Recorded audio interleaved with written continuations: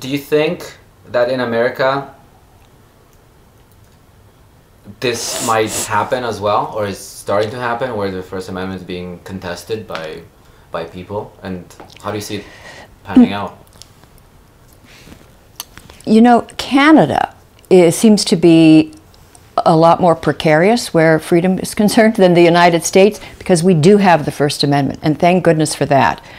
And the court, uh, the United States Supreme Court, has set such a strong precedent that um, unless you're threatening someone or harassing and or slandering, there, there are very few exceptions. And we, we have this really strong tradition of freedom, which I think has served us very well. And I think it has certainly served uh, people who were oppressed, people, uh, various human rights and civil rights causes. Uh, there were a time, there was a time where people would have been very offended if you talked about intermarriage.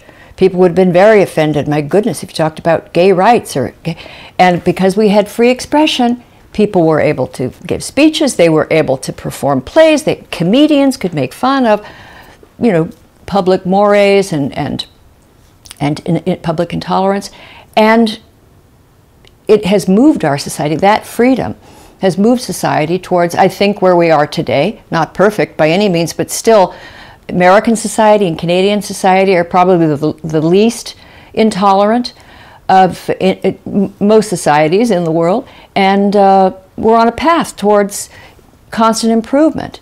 That came from freedom.